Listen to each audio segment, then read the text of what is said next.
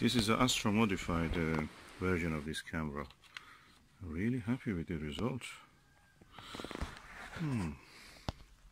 At how many stars I can see in that field.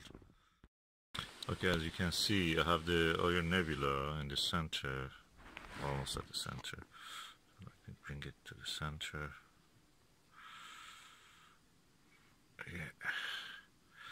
Trapezium is the star at the top of this, almost touching the circle.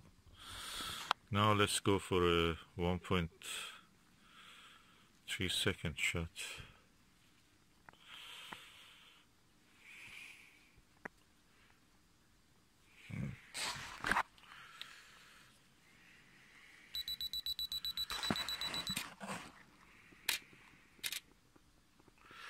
Yeah, not bad. Now I go for a little bit increasing the ISO. The moment it's 6400. So I've increased the ISO to uh, 12800.